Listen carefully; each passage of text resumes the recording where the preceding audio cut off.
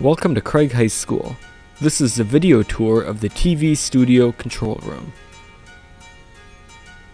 Our control room includes a VR50 HD mixer, a lower third media PC, a streaming and recording PC, two VCRs, two DVD CD duplicators,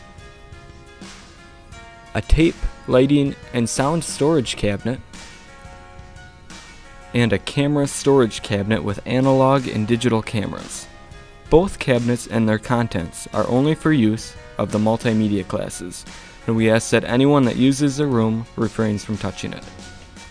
If you wish to rent out the space, please contact our library media specialist for permission. To turn the system on, press the red switch above the video mixer.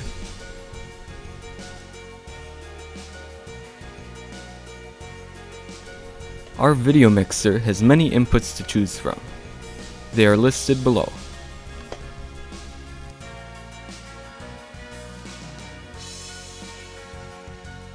To switch a video input, press the corresponding button. And to change the input source, click Input Assign and choose the source for each input. The audio inputs are listed below.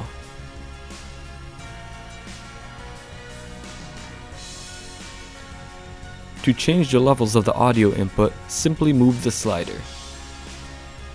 Our VCRs allow us to capture and record to and from tape and DVD. If you want to play a tape or DVD, switch the video mixer input to the corresponding tape deck and click play.